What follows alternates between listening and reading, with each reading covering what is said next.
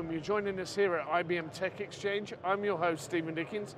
This is another Six Five Media Show, and I'm joined by Todd and Bargav from FalconStor and IBM. Hey guys, welcome to the show. Thank you, sir. Yeah, thanks for having us. So tell us a little bit about FalconStor and what you do for the company. You're the you're the boss, but tell us what you do. Yeah, well, I'm not the important person, but the, the FalconStor is a company we've been around for now 24 years, and you know we've had the privilege of having a, a partnership with IBM for about 20 of those years, off and on, different kinds of partnerships along the way. Um, so you know we've been able to really um, evolve our software over time to work very well with, with IBM gear, with IBM products. Um, so we'll come back to the partnership because yep. I think that's crucial. Bargav, just maybe position your role and then we'll dive straight in. Yeah, yeah. So I, I uh, have the pleasure of leading product management responsibility, product management responsibility for our Power Core platforms, modernization, and AI. So let's go back to you, Todd. Where you're starting to talk about it there, the partnership. Yep. I think that 24 history 24 year history is crucial. Yeah. Tell me a little bit more, and then I'll come to you, Bargav, but tell me a little bit more what that means on the day to day and how that manifests itself for the clients. Yeah, so when someone, when I try to give our FalconStor elevator pitch to somebody, I always start off by saying, we are all in on IBM. Now, what that means from our perspective is that we think about the world from an IBM Power customer perspective. That's your lens almost. You're that's the way we look at broader it. Broader than that, you're thinking. That's right. Power customer, what do they need? Translate that into the and then, store product. Even more defined than that is how do we help a power customer protect their data that is on power wherever they choose to run their power workload? So it could be on-prem, right? I mean, hundreds of thousands of people run power on-prem, or in the cloud, it could be in Power VS, or it could be with one of our 20 some odd MSPs that offer a power-based managed service. We want the customer to be able to experience the same data protection wherever they run their, their power. And then obviously for that data protection to be world-class, right? And I mean, Bargav, we've been talking about it today. We've yep. recorded another video. Check that out, by the way. But we've been recording another video. I think Todd makes a great point about some of that optionality. Yep. We talked about it as core to what you guys are doing. You've got Power VS, you've got sovereign versions where you can run that on private. You've also got the traditional business. How's that kind of playing out in the market? What are you hearing from clients? Yeah, and before I answer, just one thing on, on the partnership here. The way I would describe it, Steven, from our last video is clients are asking for the same thing, growth, saving, compliance. The combination of FalconStor and IBM Power specifically, there's so much optionality because what Todd just talked about is the data protection, the compliance bit. There's also such a huge bit on savings in terms of their dedupe capabilities with Power. That's crucial. And with AI that we'll get to, there's a growth angle there. So that's that's on that piece. The partnership, I think, has such optionality because the value prop we can deliver has fundamental optionality within it. Yeah. So now, what your question? I forgot. well, so yeah, we. I mean, we talk. You, you, mentioned it briefly, and I'm going to come to it. It was one of the questions. This data resilience. We're seeing DORA in Europe. Right. We're seeing that start to come through. We're seeing sovereign cloud. That's something I'm tracking in the market. We're seeing that from hyperscalers. We're seeing that from a lot of the server vendors.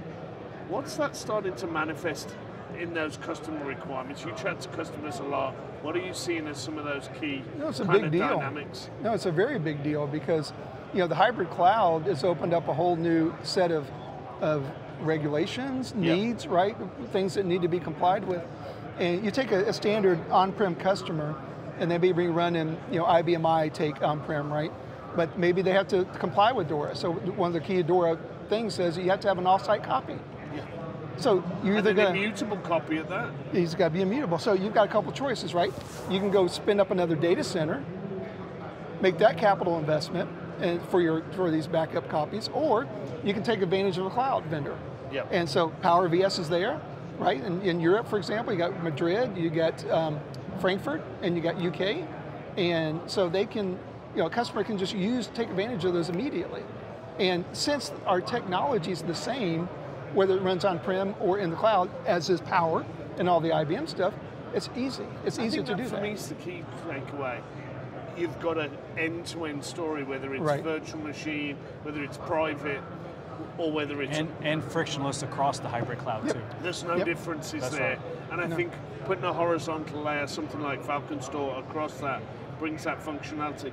You force, you're not forcing a customer to make a choice. We Right. talked about it in one of the other videos, the demos, in the console being able Yep. to just pick a location and then being able to snap in that data recovery and backup piece and just have that seamless. It's clicking that easy button for clients. And the other way I would say it is it's thoughtful workload placement that's driven by business outcome and not driven by, ah, I have backup protection here, but I don't have it here. Yeah. That doesn't make sense. It's about thoughtful workload Business placement. can decide That's where right. it wants to put the And we take workload. care of the hard work underneath the covers. the- and you guys aren't forcing them to make a technical decision. That's right. They- They're able to make a business decision. That's crucial. even their backup solution. So let's say that they've been using, pick one, Veeam, right, for 10 years. When when it comes to taking advantage of, of Power VS or Power and FalconStor, you don't have to change that. You know, FalconStor is a backup target, not a backup solution. Yeah. So Veeam can write to us, or Spectrum Protect can write. Doesn't matter, right? We take it. We take the data from the backup, we dedupe it. As Bargav mentioned, we're the best in the world at deduping. The average IBM i client right now has a 39 to one deduping. 39 to 1. That's the average. Now we quote when we when we size a, an offering, we always quote 20 to one. But in real life, the average is 39 to one. and how does that manifest itself on like dollars and cents? That's, I mean, that's a consolidation ratio. Yeah.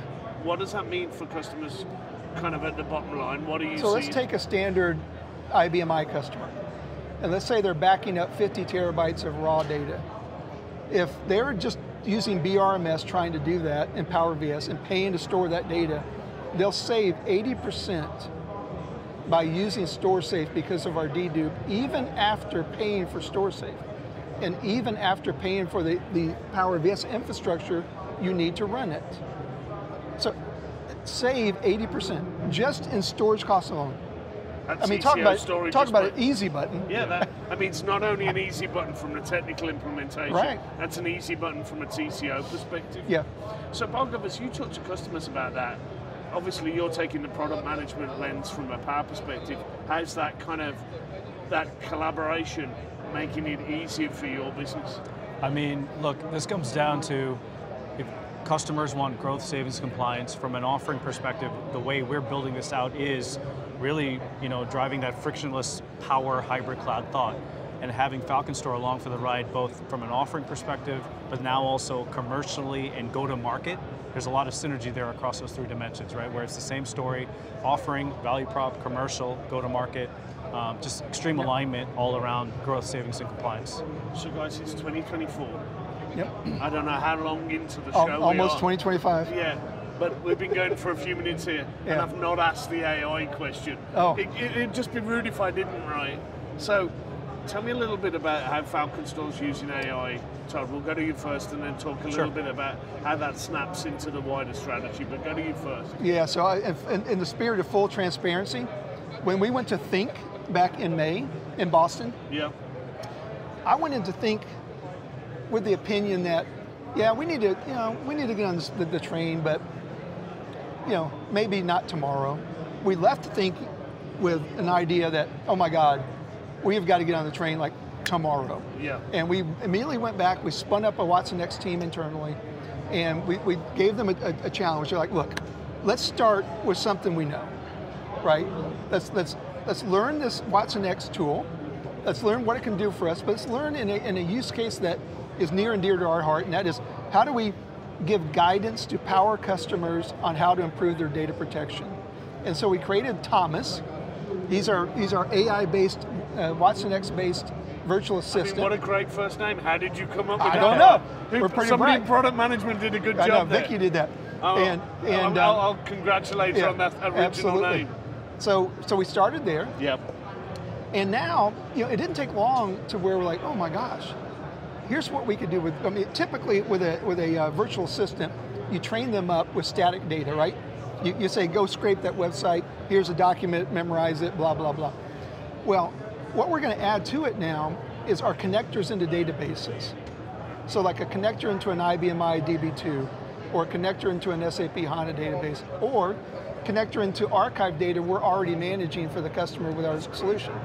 So in the future, you could ask the question not just, hey, how do I better protect my data, but you could turn it into an internal BI solution or like maybe a sales manager at one of at a company could say, hey, um, I want to see sales in all of my stores for this SKU and July of 24 versus July of 23, put it in a chart for me, go. Comes back, says, here's your chart, you want me to email it to you?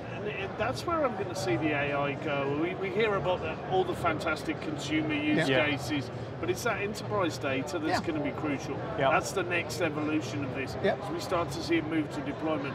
How does that FalconStor story Yeah. snap into where you're going mean, from a power perspective? extremely consistent because at the end of the day, this is about da- enterprise data ready- readiness, is what you mm-hmm. more or less what you just said.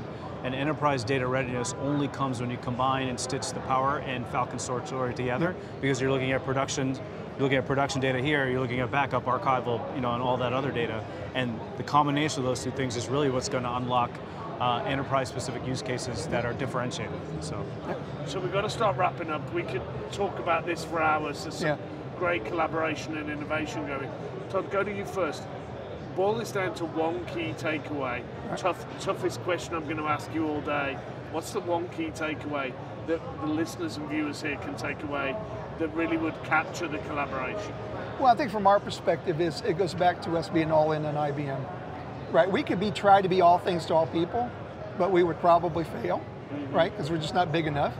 But we can be all in on IBM, and we can then put all of our resources toward providing what we do, and that's data protection.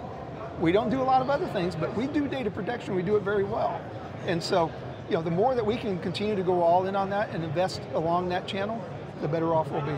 And same question to you, Bargav. Uh, just it's the alignment, Steve, right? So it's the alignment around around that north star, if you will, or that value prop, and bringing that to life, both from an offering, sales, and overall execution perspective. And that's what's driven the success today. Well, guys, that's come through the collaboration and joint innovation that you guys are driving Power and FalconStor. Yeah.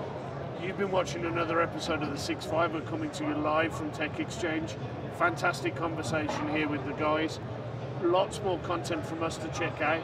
Please click and subscribe and do all those things, and we'll see you next time. Thank you very much for watching.